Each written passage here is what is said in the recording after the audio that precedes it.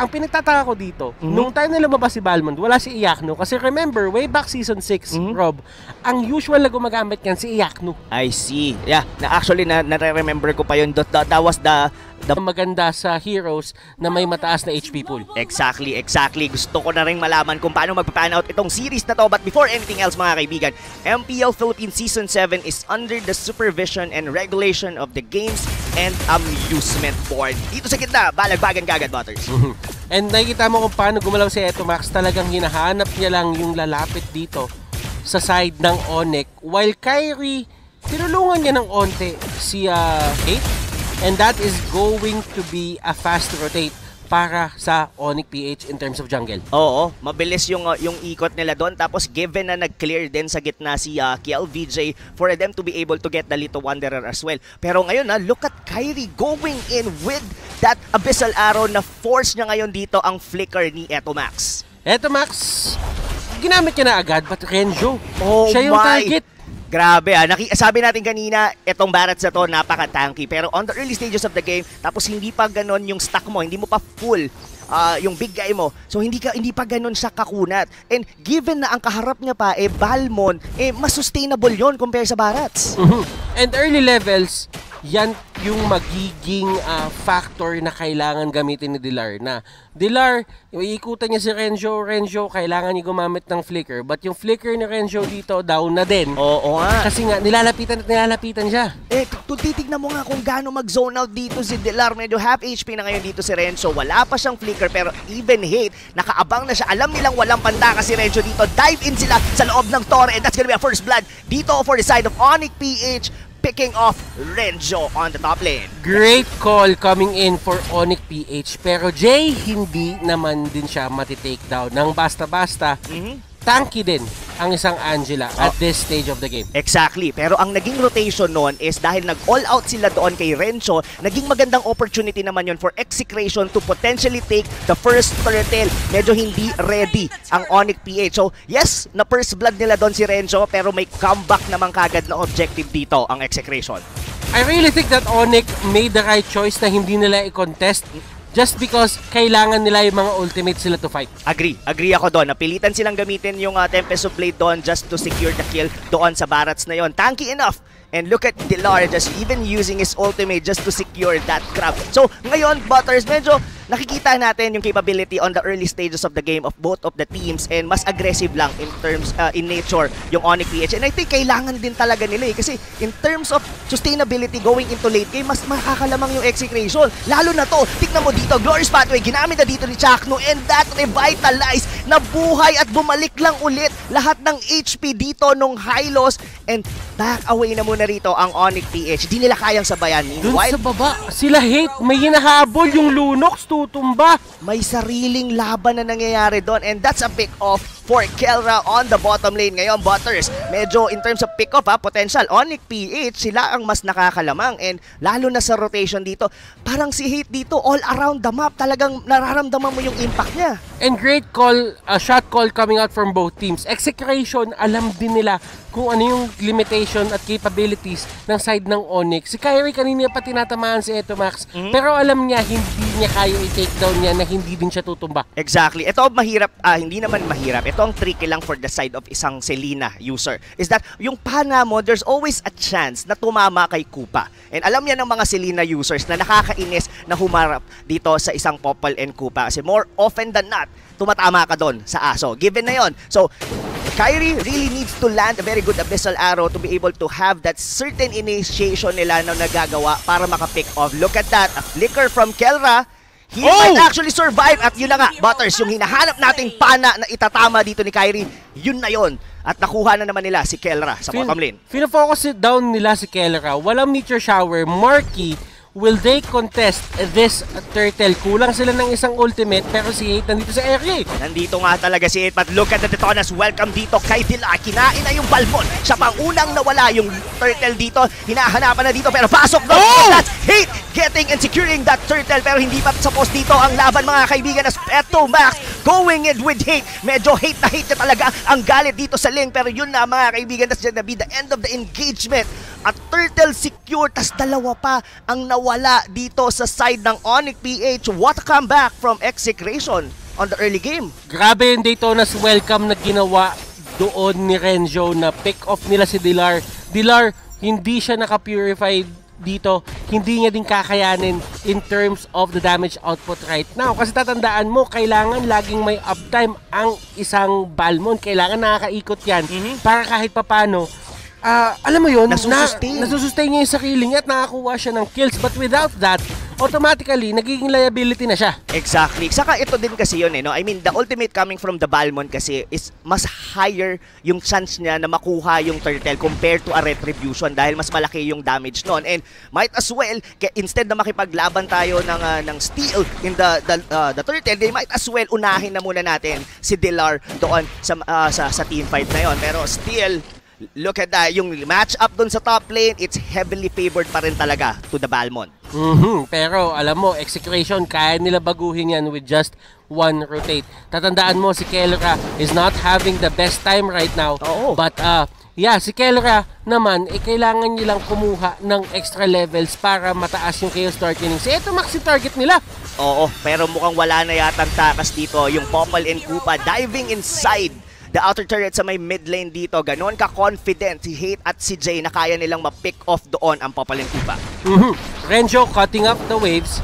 And this is a great move, especially kapag 10 seconds na lang yung turtle dun sa kabilang side. Nako, parang naiisa-isa dito ang mga members ng Execration. That is very, sabihin na natin, malalim. Doon si Renzo cutting that lane against that Balmon. So, right now, Execration kanina medyo nakabawi sila in, even in gold. No, kung papansin mo, no, Butters, on in PH, lamang sila sa kill, pero yung gold, hindi nalalayo. Mhm. And because objectives goes to the side of execution. Kung papansinin mo execution, hindi sila natatakot kumuha ng turtle Yes. kasi alam nila kapag ka pumunta dun kay Renzo at kinuha yung kill kay Renzo, nawawala ng Tempest of Blades, nawawala ng Meteor Shower, nawawala si Dilar yung execute ni Dilar sa ultimate niya. So, a lot of things are uh, is used just to take down Renzo. And this is a resource battle, ika nga nila, Rob. Oo, resource battle. Pero I just would like to comment nung nakita ko yung items kanina. Marky already has his two wands. Meron na siyang Ice Queen wand, meron pa siyang glowing wand. Hindi pa natin masyado nararamdaman yung presence dito ng Chango. Pero is actually getting the items that he needs na lalo na pa, pa uh, we're already approaching the mid game. Mhm. Chak, no, nahuli nila si Dilar. Ako po, Dilar. Once again with the Huli. Detonas, welcome here on the Balmon. Buhay pa siya Butters pero hindi na ngayon at may kapalit pang Torre yon sa may top lane. Execration, sila ngayon ang nagdidikta ng tempo dito sa laro natin against Onyx PH. Will they be able to keep it up? Pero yung pana doon ni Kyrie will be going doon kay Renzo. Pero hindi kaya, hindi makapasok dito. Fortunately, walang minion way back away na muna dito ang execration. Onyx PH has to find a way para ma-halt itong momentum na meron ngayon ang execration. And they answer with their own bottom lane turret take. Kyrie, meron siyang Calamity Reaper but still, will that be enough? Yun ang tanong, kung enough na ba yung Calamity Reaper ni Kyrie na yon? Look at Renzo, gaano siya katangki itong, itong dinosaur na to with the flicker out. Si Hate dito sa likod, nasa loob na lang ngayon dito si Jay, naghahanap ng opportunity para tumalon. Napili nila dito, that's gonna be Chakno ang unang mawawala sa Execration. Pero counter-engage naman dito ang mga tropa natin from Execration. Dilar, sila, siya ngayon ang nagiging focus ng mga tropa natin from Execration. Even Kelra dito sa may likod. Oh no! Yung Dark na yon sumakto at pumana si Kyrie na sayang yung mga Chaos Ball na pwede sanang maibato ni Kelra. Buti na lang nakapagpalit siya kagad ng Order of Brilliance. Well-timed, well-timed Rob. That could have been bad for the side of Onyx Yes. kung hindi napigilan yon with the chaos uh, with that abyssal arrow. Now, first turtle, the third turtle, and the first turtle na mapupunta sa Onyx, at least mapipigilan nila in terms of um in terms of just snowballing itong side ng execution. Kanina nakakuha din pala sila ng isa, but short-lived yun eh. Na retry, pero hindi na itakbo ni Ling. Hindi Agree. na takbo ni Hit. Totoo yan, totoo yan. Pero ito, Butters ha, looking at the items dito ng mga tank ng Execration, they have a Dominance Eyes, Sky Guardian Helmet, automatic yan, and a Curse Helmet para dito sa isang barracks. Pero I'm pointing out with Marky, walang magic defense dito yung mga tank ng Execration and this could be a key for the Onyx PH. Tapos napansin ko yung boots pa ni Marky is a sweep boots. So meaning yung mga normal attacks niya dito could really hurt a lot dito sa mga members ng Execration. Pero if he could survive, that's the biggest question dahil medyo sagasa dito ang ang lineup dito ng Execration. Kung titignan mo, ganito sila ka-confident Butters na gusto na nilang basagin at 10-minute mark ang base turret dito sa baba ng Onyx PH Delar dito going into the front lines dito ng Onyx PH habol sila ngayon dito sa Execration will they pursue? No pero sa kabilang banda hate just doing his things hayaan muna natin wag nating sabayan mag-segue push muna tayo dito sa may top lane Mhm. And nakikita natin dito yung pagiging aggressive ng execution. Kumukuha na sila, nag invade na sila at sinusubukan nila agawin yung mga buff ng side ng Onyx. yun ang ginagawa nila. Nakita natin, Marky, with all the items, it doesn't really matter kung hindi ka naman makapick off agad-agad hit. Going in with Kel VJ. Oh no, Onyx PH, medyo nasa danger zone yata sila ngayon as they are crumbling here on the mid game dahil yung mga pasok. Kung makikita mo, grabe, yung, yung sagasa, glorious pathway ni Chakno, tapos dire-diretso na ang lahat. Ito yung Chaknu na komportable sa hero niya. Like nakikita natin si Chaknu, sinusubukan niyang i-adjust yung sarili niya sa nanggagaling ah, sa meta ngayon na mga Angela, na mga Mathilda.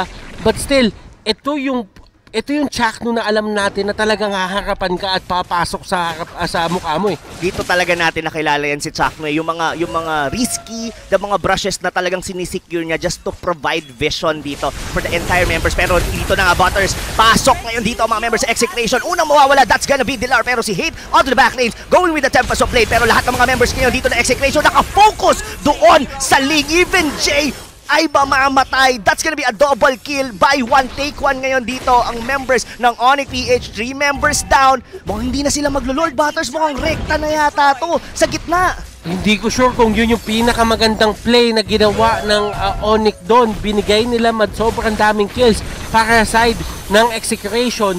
And given the fact, yes, Kel VJ, wala siya kaya hindi nila makukuha yung Lord. Onyx, hindi nila mapipigilan yung push na ginagawa ng execution kapag ganun yung ginawa nila eh. Totoo, totoo. Even with Eto Max, ang, yung damage niya doon sa may torre, halos mga lahati na ngayong base turret sa gitna ng Onyx PH. Wow! This lineup coming from Execration is really doing well.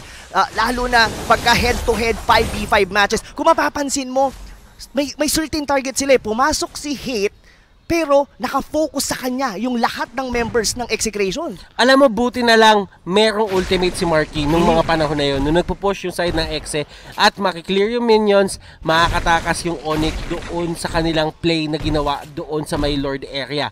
Ngayon naman, execution, inuunti-unti na lang nila dito yung Onyx. Ang literal na ginagawa nila is waiting game na lang na inaantay nila may pumasok na naman sa Onyx by Daytona's welcome at yun yung magiging main target nila. I-breakdown nila yun. Tapos numbers game na from there. Totoo, yung, yung Detona's welcome and even Renzo looking at him, medyo na-cancel ni Dilar doon with the dash yung Detona's welcome nito ni Renzo pero hindi pa tapos dito ang execration. As Popolin Kupa, ngayon nagiging target nila dito si Dilar pero napa-flicker out na muna siya, reset na muna ang Lord. Ngayon, disengage both of the teams, medyo magkakapaan muna to Butters on mid game kung sino ba ang kukuha ng pinakaunang Lord natin ng larong ito.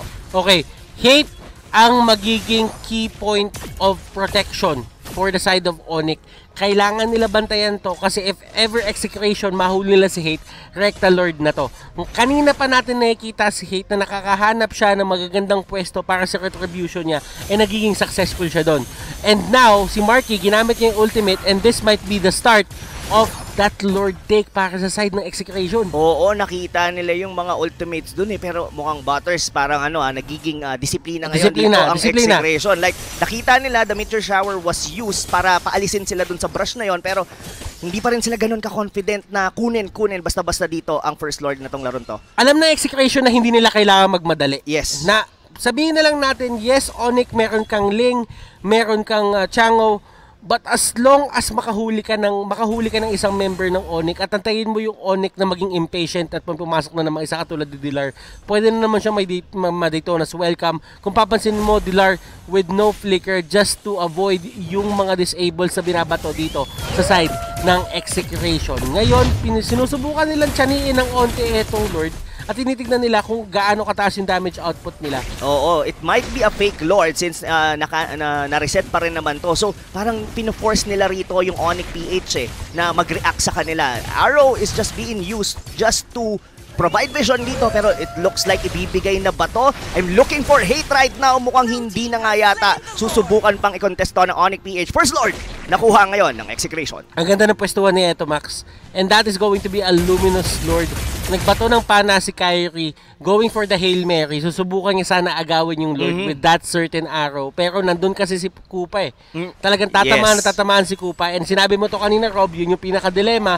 May isang extrang unit sa may mapa na matatamaan ng pana at hindi niya iindahin yung sakit na yun. Kasi pwede lang naman siya isamon ulit eh. Totoo, totoo yon And even Regen din as well. Pero ito ha, ang nagiging sagot dito ng Onyx PH, mukhang i-hold lang nila yung mid lane, then hate just doing his best para ma-negate dito yung attention ng mga tropa natin for Execration. Pero looks like Execration, they would like to force this mid-turret. Basag na ngayon dito ang base turret sa gitna. Isama po yung baba. Muko, si Hate ba ay babalik? Yun ang malaking tanong dito dahil ang mga members ng Execration gusto na nilang tapusin to o alos maubos na ngayon ang mga minion dito ng Onyx PH pero mukhang madidepensahan pa rin naman iyon sa may top lane ngayon nagtitipin na ngayon dito si Lorenzo looks like it's a good defense coming from Onyx PH pero basag pa rin ang tore sa gitna pati sa ibaba paano na ngayon ang comeback dito ng Onyx PH Butters Nakita natin to from the previous games netong araw na to, Rob.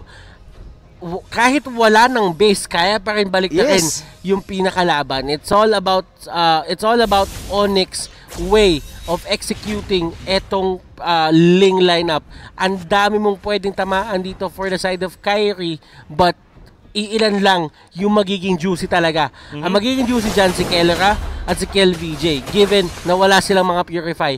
And at the same time, si Marky is going to be a crucial part of the defense dahil doon sa meteor shower. Hindi pwedeng mawala si Marky dito. If ever mawala si Marky, that is the time na probably, probably Rob, yun yung magiging turning point ng game na to. Exactly. Kung papansinin mo nga si Jack, no, sinasalo niya na yung picture shower doon ni Marky. Pero hindi enough yon. Look at Renzo, flickering in, just using the Detonus welcome. Pero medyo na-cancel yata yon mga tol. Pero hindi, si Dilar ang kanyang nahuli. Nyart, nyart. At siya pa yata ang unang nawala. Pumasok doon si Jay. Naka-out pa rin naman dito ang mga members. Jay, still alive. Pero si Dilar nawala. Pero sa likod, look at Hate. Pasok dito ang ating Ling with the Tempest of Blade. Sino ang unang makukuha niya? That's gonna be Kelna. Triple kill. Renzo, isama mo pa. Oh no, si Kate pa yata ang maghihinto dito sa muntik na pagkapanalo ng Execration. What a maniac! And an epic comeback for Onyx PH ngayon. Takbo na ngayon dito ang mga members ng Onyx sa gitna. Butters, enough ba yung mga death timers ng Execration para ma-winstan itong pagsugod ng Onyx PH sa gitnang base na to? That is that is not going to be enough to end the game. Alam din dito ng Onyx kaya ang ginawa nila tumutok na lang sila sa pag-agaw nitong purple buff. Ni hindi na nga nila pinipili yung lane ah, yung lane na yon. Talagang umalis sila pumunta sila sa jungle. Yes, pero this instant replay is brought to you by Oppo A94. Kung titignan mo dito, no, Butters, ang ganda ng pagpasok nila Renzo eh. Nakuha nila kagad si Dilar. Tapos ang yung pagpasok sa likod ni Hit, sobrang timing dahil halos wala ng HP. Yung mga members ng Execration, nag-proc pa doon yung kanyang ah, Ah, yung da, da, that Assassin emblem, grabe. Eh, bumalik lang din lahat ng buhay niya doon. Oh my. Oh my. This is an epic indeed if Onyx PH could just simply turn the tables around dito ngayon sa Execration. Pero hindi din papatalo execution basta-basta sa Onyx. Ang ginamit ng Onyx naman, uh, ang ginamit ng execution dito is yung fact na wala ng Torre ang base ng Onyx. Yes. Talagang vulnerable na. So Mhm. anytime there is a chance na baka ma-backdoor sila. And kung papansinin mo, ano yung area na kinuha agad ng execution? Yung Lord area. Kasi alam nila na may pagkakataon na dyan mapwesto yung pinaka-next na fight kasi kailangan din pigilan ng Onyx yung pag-take nila ng Lord kasi if ever makalapit yung Lord na yan, kaya nila if ilock yung tutok nila sa Lord. Exactly. Saka yung ginagawa rito ni Chuck Two Butters, kinukuha niya yung mga traps ni Kyrie para mawala ng vision dito yung mga tropa natin from Onyx PH. But still, hate, doing, doing Ling things pa din, talagang nakastay siya dun sa may top lane. One of the reason kung bakit na kinakailangan ni Renzo na magstay doon. So this might be a 4v5. Pero kasi, kung iisipin mo, mas mabilis kasing rumisponde Mhm. yung Ling. And nakita natin, hindi naman siya kailangan agad-agad sa teamfight. Pwede siyang like yung panghuli na, katulad ng ginawa niya kanina. Yun nga yung sinasabi ko kanina, yung lock at lock tower na focusing, target focusing. Pero si Dilar na naman yung mahuhuli ata dito, Rob. Yun na nga, si Tinoco siya doon. Pero hindi siya nakuha. Kelra pa ang nawala. Pero dito napipilitan Kel VJ. Might actually fall dito mga kaibigan. Eto Max, tatlong members kayo dito ng Execration ang nawala. This might be a good opportunity para sa Onyx PH na kunin ang Lord na ito. Wow! What happened doon, Butters? Bakit nawala sa posisyon ang mga members ng Execration? Tatandaan mo, Rob, may factor lagi ang Selena na ganyan. Kaya ka magkakaroon ng pagkakahiwa-hiwalay is because of just one arrow. Ayaw mo tamaan eh. Mhm. So ang gagawin nyo is talagang mag-aalisan kayo sa mga pwesto nyo. Ay. And yun yung ginagamit dito ng Onyx para kahit papano hanapan na maliliit na butas yung side ng execution. Now, execution, nagiwahiwalay sila Mhm. and nung nakita ni Hate yun, auto pasok. Eto na, speaking of auto pasok, papasok na ngayon dito ang mga members ng Onyx PH sa base ng Execration. Jackno barely alive. Kailangan niya munang i-hold ito. Nako, 10 seconds on the timer dito ng mga tropa natin for Execration. May minion pa, may siege minion sa gitna. Buhay pa din yung Lord. Nakalak na ngayon dito ang Onyx PH. Oh! Sa face ng Execration will be able to take it down. And Onyx PH with the reverse. Nakuha nila ang pagkapanalo against Execration. And look at this.